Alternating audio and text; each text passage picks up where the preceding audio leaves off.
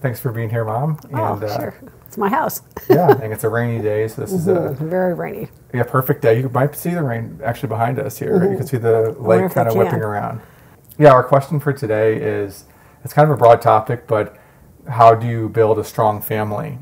Well, honestly, I think the very beginning is just for it to be based with God and to be praying for the your future family, for your kids, for the Holy Spirit to be in them, for the Holy Spirit to be in you and uh, clean you up. Because when you're with your kids, they imitate you, and you see real quickly when they're imitating you some of the things you shouldn't be doing, and so they're kind of actually helping clean you up quite a bit. But I know, like, when people start talking about how to be close to your teenagers, it's got to start being close to them in the first place. You gotta, you can't just say, "Oh, now they're old enough to get in trouble. I'm going to start paying attention to them."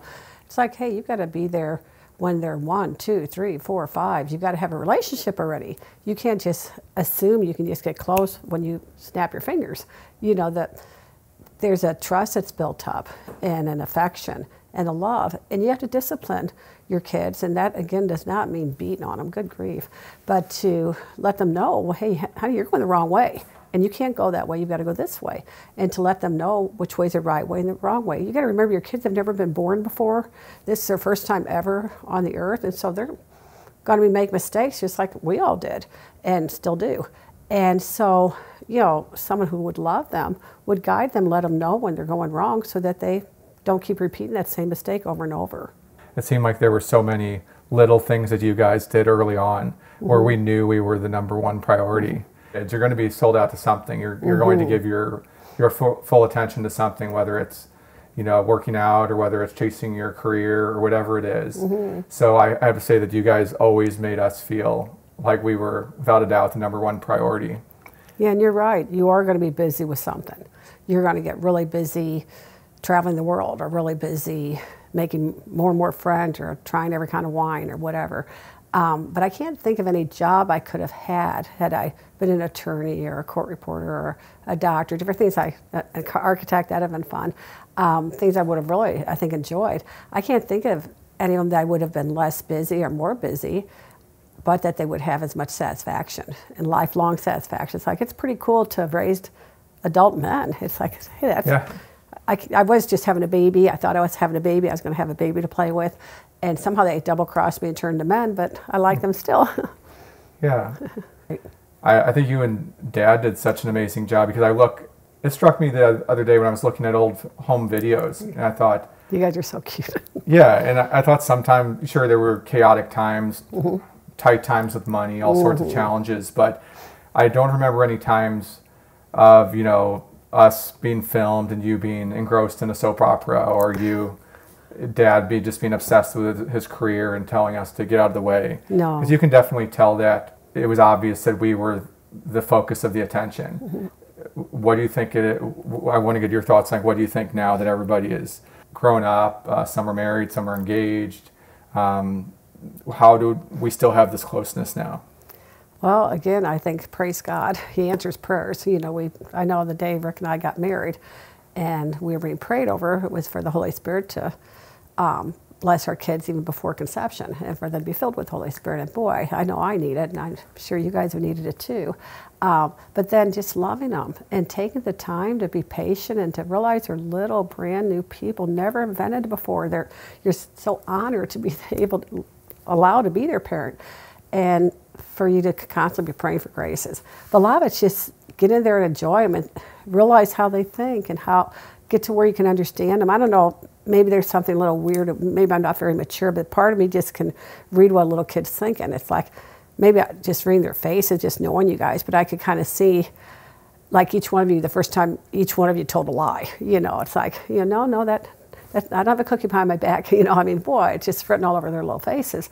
And not that I want them to lie, but it's kind of interesting when you see that must be how God looks at us with affection, knowing that, oh, I made such weak people. They're so dumb. They keep making these dumb mistakes. And then, but because He loves us, He corrects us. Well, because we love our kids, we correct them so that they don't make these mistakes later on in life when they're going to really have big consequences. I'd rather them make them in, with, in front of me so I can, because I love them so much, I'm going to correct them, make sure they don't repeat them. Or if they do, I'm going to correct them again until they finally catch on because the consequences are worse later on, and they do need to learn it. I was just kind of going through in my own mind what, almost listing off, okay, what is the actual difference between, you know, a family that's close or not close? And it's, it's not just the size of the family. Like mm-hmm.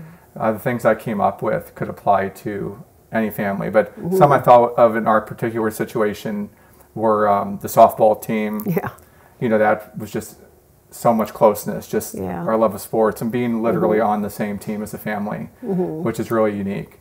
Obviously, not everybody can literally have a, a family team, but there's the same concept applies. Mm-hmm. You know, you could, you know, spend time working out at the gym together, or you could, oh, yeah. you know, go travel together. Just so many different things. And I think some of the things that helped us were the, um, well, traveling when we started yeah. doing the family vacations. Mm-hmm. They certainly weren't, you know, hot spots or you know, rich, anything. I mean, it was like KOA cabins. It was just the fun part was us being together. Well, you've got to be creative. It kind of depends on what your situation is. And when you've got lemons, you make lemonade.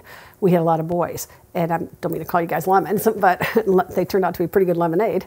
But like with Rick, his work took him to St. Louis and different areas, downtown St. Louis, and just all around this metro area.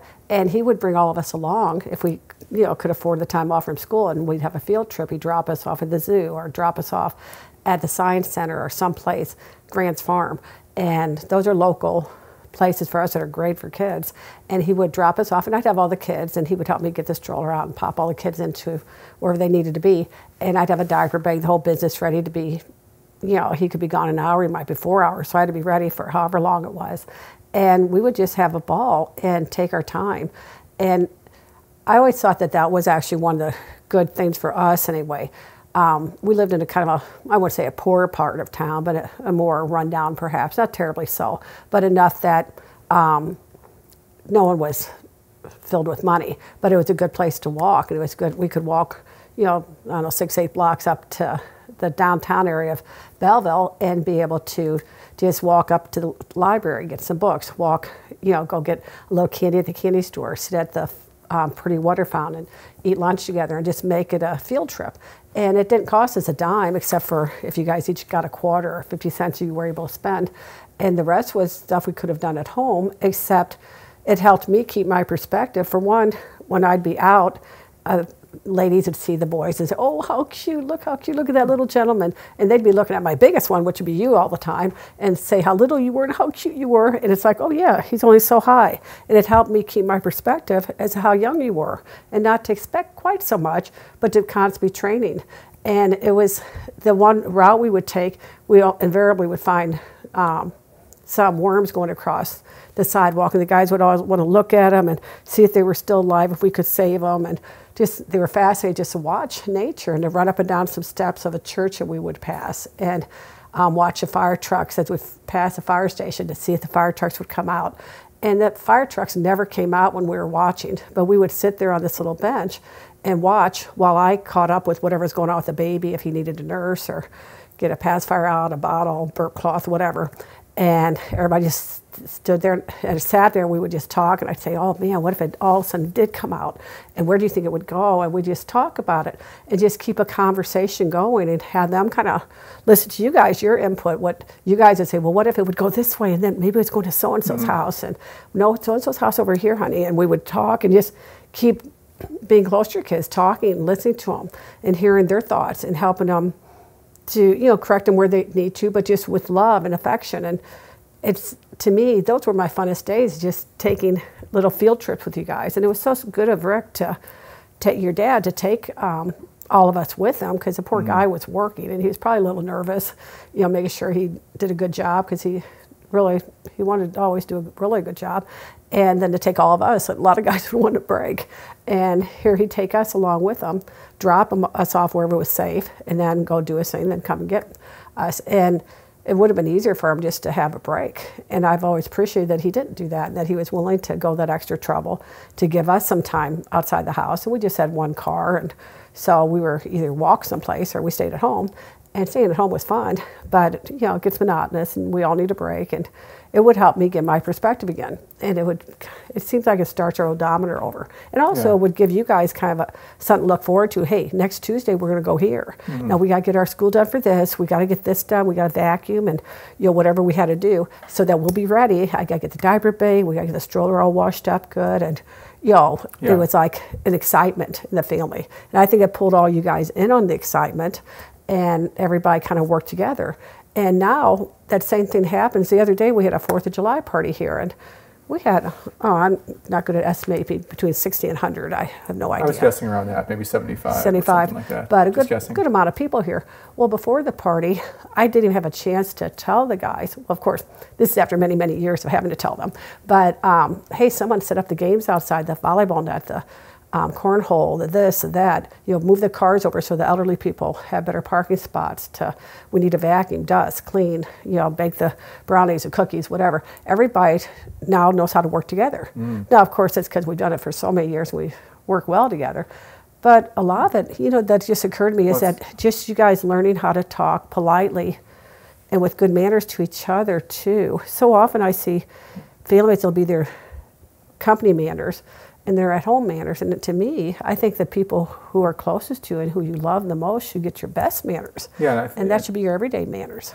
One thing I was reflecting on recently, actually just yesterday, I don't think I ever thought of it quite from this angle before, but I think the Western culture, well, you know, like the U.S., which most of our viewers probably are watching from, but um, even the Christian culture can be very individualistic.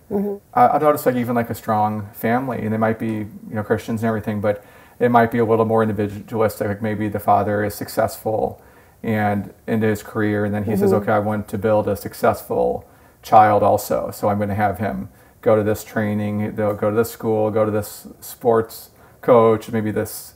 And then okay, he's going to go to church, so he learn some morals, and then he's going to do such and such. Mm-hmm. But it's all like almost like different columns where you're not like bonding as a family, and you realize, oh, okay, maybe that's something that I mean, for all the wonderful things in America, that's something that I think we, you know, our kind of, country could use more of is like the family aspect and like the Oh, yeah. generations being close and, you know, many cases living together or living near and I think there are a lot of Yeah. families out there that we don't see. They're not in the media and with loud um, bullhorns or something telling you, you know, do things this way that way, but that they're quietly doing what they're supposed to do. You know, different, oh, lots of nationalities, not in America quite as much, but they keep their family close. They realize, hey, when you're a grown adult, you should be helping take care of the little kids, and you've got muscle, you can help the elderly. And because of you were a baby, and you will be elderly if you make it that long. And so that's just so very basic. It's basic things, and for a lot of it's for parents to take responsibilities. I know we had a real wealthy friend. She's real a dear friend, but. Um, she knew she was saying a bunch of her friends always felt like they had to have an expert tennis champion teach their child how to play tennis. And it's an itty bitty guy to teach him how to play tennis. Well, I don't think it makes that much difference when they're first starting off. First, you want them to love tennis and enjoy it. And if they like tennis, then you go to the next stage. But you know, not everybody is that interested in tennis. Some people are, some people love it. Um, but you don't have to have an expert do it. You probably need someone affectionate and loving toward the child to do it. And I, you know, you talk about just so many things in our culture. The parents are giving up the responsibility of teaching the kids, of teaching them sex education, teaching them you know morals, teaching them how to behave, all these things where the teachers, if they're in school, they're saying, "Oh, why aren't the parents teaching this?" And the parents are thinking, "Why aren't the teachers teaching this?" And it's like, well, the responsibility really is ours. They're our kids, and we're the ones who love them, and we should be teaching them these things. Now, that doesn't mean everyone's able to homeschool or wants to or likes it, but for us, it worked out really nicely because you guys were with us all the time, and I could catch right away um, when one person's rolling their eyes, showing a lot of disrespect for an adult, or another person is saying something bad about someone else, or you know, talking ugly or saying words they oughtn't to say. Um, even when we first were watching um, Back to the Future, the whole neighborhood, all the kids start calling each other buttheads over and over, and I hate that word. and they kept calling that, and so I finally made we weren't. I made it illegal for you guys to even call this part of your body that. It was a bottom, and that's all. you Because it's no fun to call someone a bottom head, and it took the fun out of it. Do you remember that? Do you remember that neighborhood kid who, um, I think Mark must have been like seven or eight years old. And This Okay. neighborhood kid somehow said to Mark, like, "Yeah, I'm going to kick your butt next time I see you." Uh-huh. Like just the expression, like, oh, "I'm going to beat Uh-uh. Okay. you up. I'm going to kick your Right. butt." And so Mark, like every time he would saw saw that kid, he'd like walk around, like guarding his backside, Backside. basically. He literally See, saw didn't say the word. yeah, he just thought like, oh, literally for some reason this guy wants to just like just kick kick that part of my And body. so he just walked around like, okay, I don't know what's going on here. I'm just gonna try to play defense. the pillow might have helped. Yeah.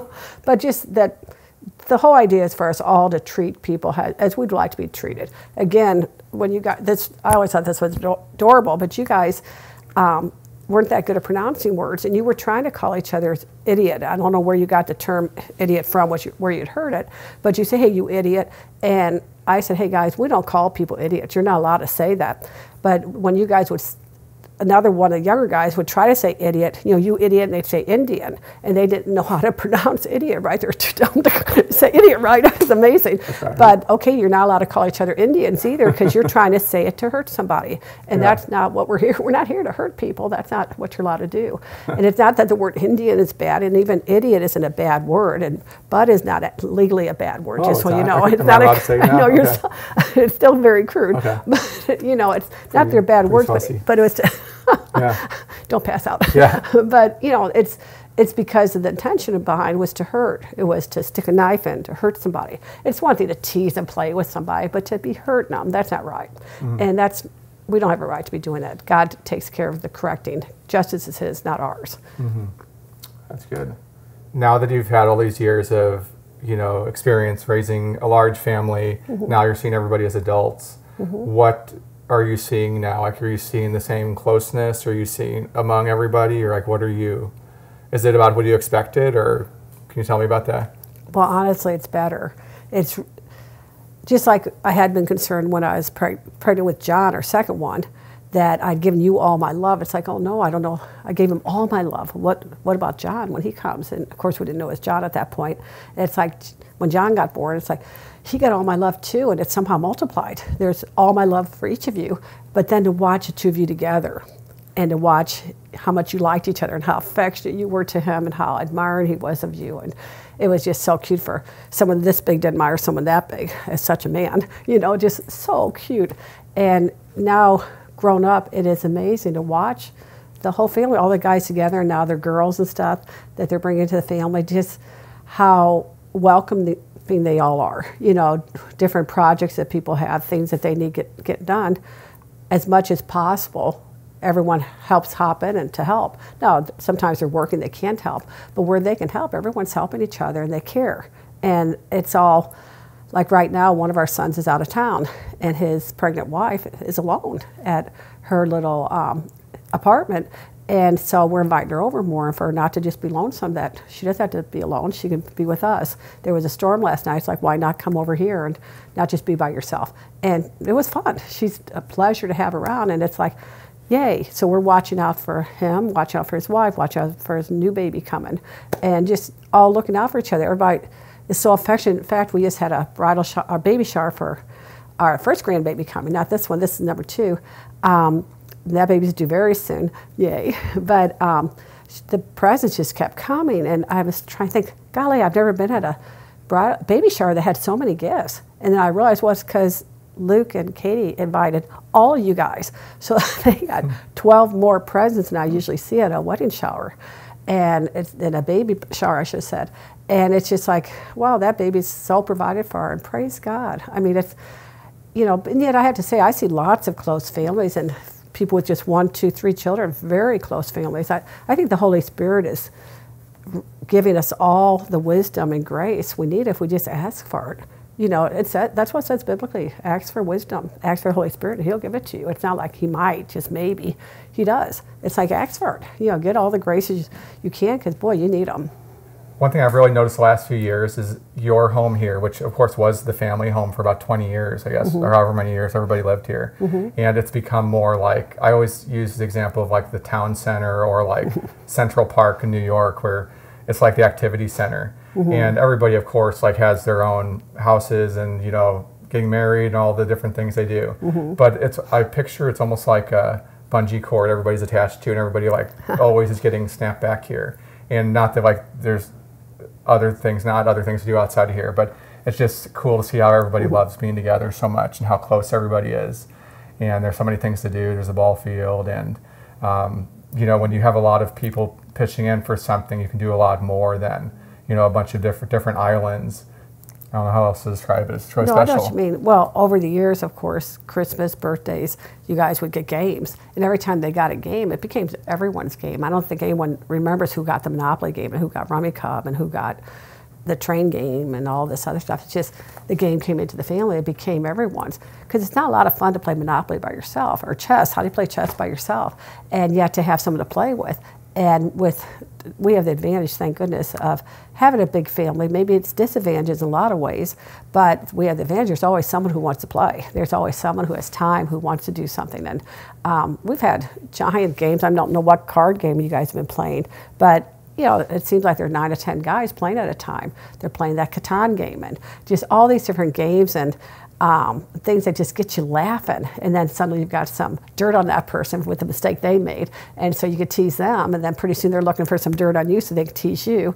And it's all these inside jokes that if you've been out of town for a length of time and you come over, it's not like, oh, well, you're out of it. Everyone tells them about the, hey, you know what happened here and how this happened. And pretty soon they're inside the inside joke and you're all part of the fun.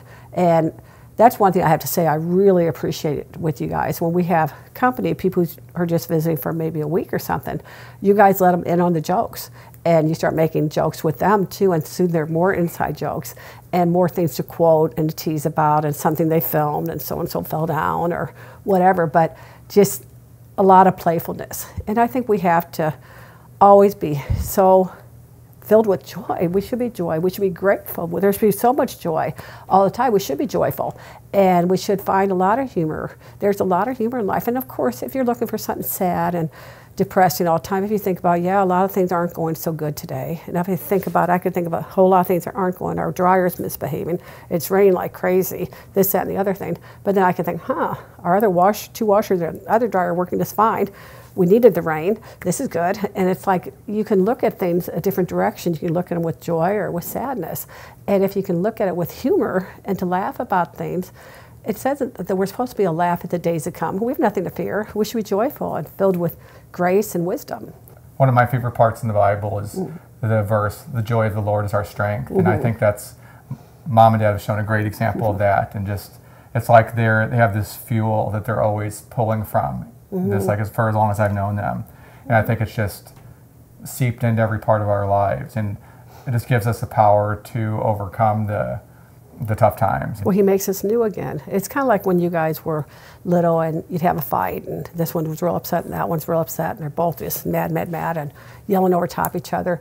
If I would just take the time and just stop, like, wait, we're going to talk about this. Okay, now you, you tell me everything that you say went wrong, and well, he did this, this, and the other one said, well, wait. It's like, no, now it's not your turn. You say everything you could possibly say that was wrong, and now you have to be quiet, and you get to say everything possibly wrong, and you go through, you talk about, like, you know, honey, maybe had you done this, and maybe had you done not done that, you talk about it. At the end, you know, you tell each other you're sorry.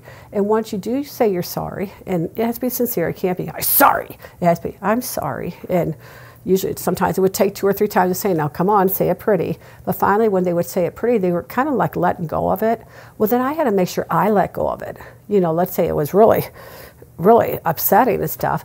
And they hurt each other or whatever, you know, to not just stay mad or upset myself, but just kind of like I purposely just felt God told me just to now everybody just breathe a sigh. Okay, get that's over. Okay, guys, you want to go do this and give them a good idea of something cheerful to do with each other. And so it kind of washed the slate clean, kind of like what the rain's doing now. It's washing the streets off. It's washing things off, mm-hmm. and it just starts the odometer over. And I think we have to always be like that. We have to be willing to turn the other cheek. We have to be able to walk away from the difficulties and do what you have to to deal with them, and then get busy with something else cheerful and kind of to maintain yourself with joy and to help keep the environment for your kids that way too. You brought up the example earlier about the video games where we we had this uh, acquaintance whose kids had I think they had three or four kids at the time, but Mm-hmm. they would have these video games. It was like um, I think Game Boy, the early Nintendo stuff, and. Yeah. they would each have their own little personal Game Boy and each have copies of the same games. And it, it really bothered us because we thought, oh, what a waste. Why not get like other games? Because we, because we could barely afford to ever get a video game. Mm-hmm. And when we did, we would all share it. So if there were 10 different guys who in the family who had video games, it felt like each guy had 10 games. Right, because you shared. It's a lot more fun that way because you get sick of one game pretty soon. But if you could switch and then take turns in it, then you watch how the other person does and then you challenge them and it just, it's so much more fun.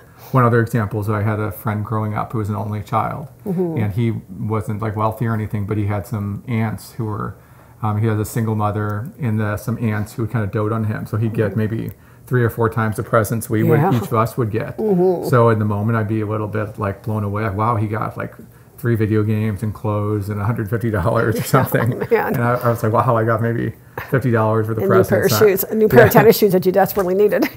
yeah, but then I saw that he would just be there kind of alone, yeah. you know, to use it all and then just lonely, didn't really have anybody to play with mm-hmm. and he would just end over, up over at our place, even though we didn't right. have, I mean, as much individually, but collectively we had so much.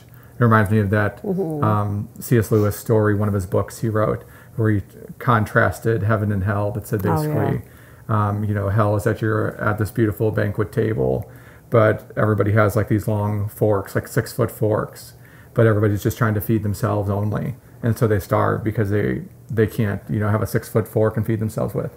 But then heaven is the opposite, where you're all feeding each other and you just have more. You have plenty for everybody. Right. Well and we have to remember that kids don't really need so much. I mean i'm sure all parents have seen their kids they give them this present they end up playing with the box or the rubber band or the bow that came with it or something.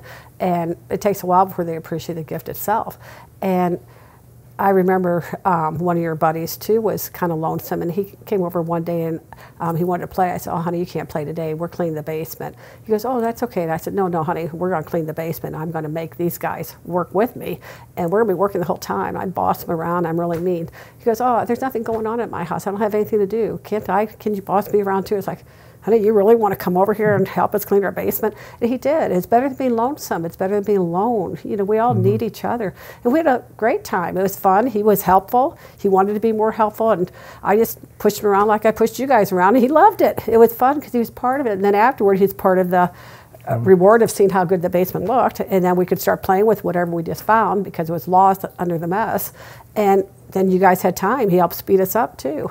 So it was good all around. So I think sometimes we have to be careful. In our culture, we get to thinking that kids need so much stuff and that they have to have every lesson there is and every um, advantage. And I think what they really need is love and they need affection and they need someone caring about them and noticing them when they're having trouble or if they've if they're going to school if they're came home from school because and they're real upset because they've got a broken heart someone's been bullying them they've been bullying somebody they've been cheating they they're way behind and something going on. And for you to know well enough to talk to them and, you know, not with accusing them like, what are you doing wrong? But kind of like, hey, honey, what's going on? You seem so upset. What's going on? You want to talk about it? And if you make it friendly and open and stuff, go for a walk with them outside, go get an ice cream cone. They'll open up. They, they need to talk to someone. And that you care is going to make them open more. a lot, just knowing someone cares, just sometimes is all that happens. You don't do a darn thing other than listen, and they feel so much better.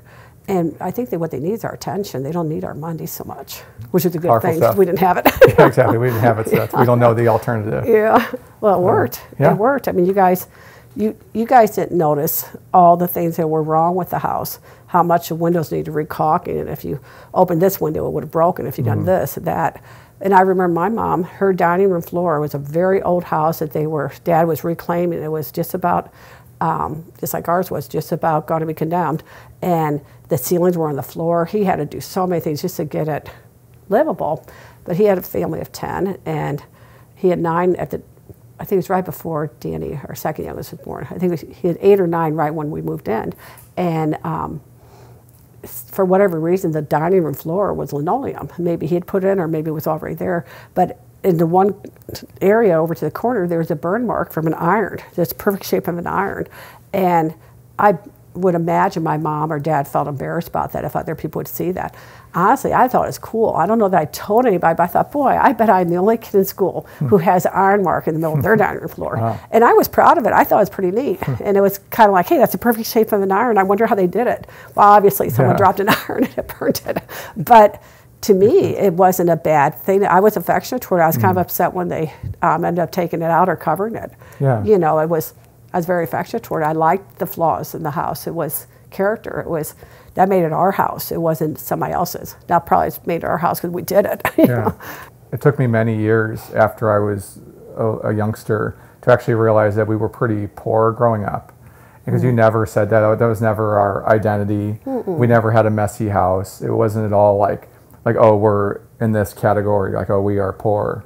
It wasn't at all thought of like that. It was always like oh yeah, we're growing the business. We're yeah, money's tight right now, and mm-hmm. but hey, we can do this, guys. We can't buy mm-hmm. video games, but we can do such and such. we played this game together. We can.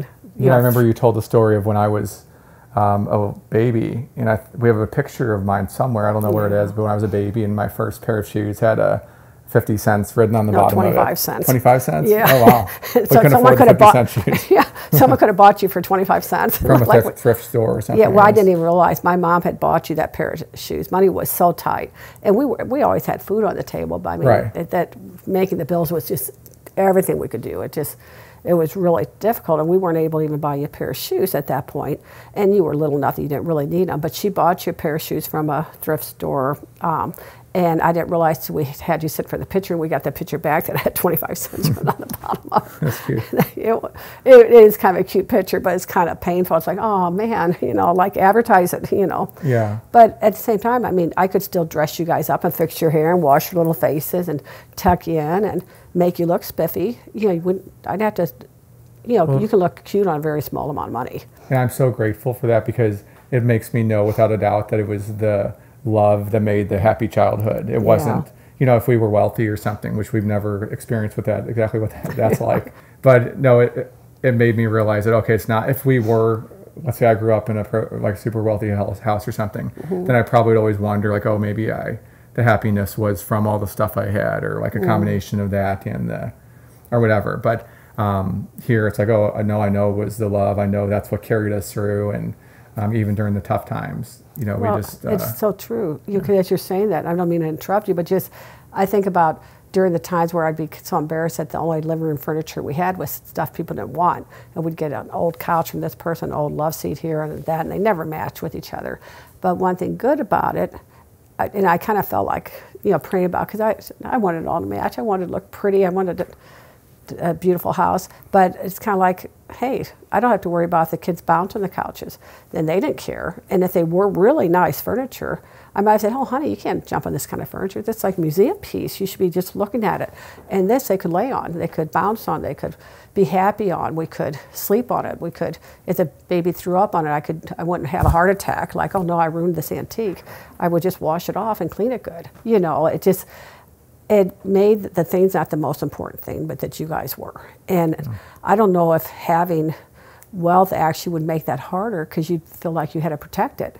And it would, you'd be like pushing the child away to protect this stuff rather than bring the child close. The child doesn't care if your couch costs $5 or $50 or $5,000 if it serves a purpose and it's comfortable to sit on and mommy sits there and holds them, you know, because that's really what they need. And I had the tremendous advantage of having really good parents that were very attentive. Dad and mom always put us first. And um, it just, I knew what to do with my guys because they gave us such a good example. And I remember your dad and me when we were dating, we just thought, yeah, we want a big family. We want our kids to have close siblings. And I'm still close to my siblings. You know, in fact, I owe a couple of uh, email back today, you know, just talking about all sorts of things. And one's get a new bed. Hey, does anybody need this bed? You know, we're all looking out for each other. And they'll all be at the showers and at the weddings. And they'll be there for all of our events. And we'll be there for all their events. And it's, that's nice because you've got guaranteed friends. Yeah, because you can still fight with your siblings, which sometimes needs to happen because maybe you've been being a real jerk and someone needs to tell you about it, or they were being a jerk and you need to tell them about it, and then you end up still loving each other. But with a, a friend, that might break it up and you might no longer be friends after that. You know, you don't really move away forever from your family if you're close, you know. Sorry. So, Well, Should I change the laundry? We, could talk all day, but I know you need to run off. We just heard the washer and dryer. I know it's off. calling my name. I think my name is that sound. Yeah, just, it sounds like a 1980s video game. doodly doo doo. But I, I think that's it for today on this topic anyway. We'll be filming Yeah. Mm-hmm. more soon. Uh, thanks for being with us. And if any of you have comments on what we talked about, any questions, anything to add to this conversation, or ideas for future topics, leave them in the comments. And we'll see you next time. okay, bye.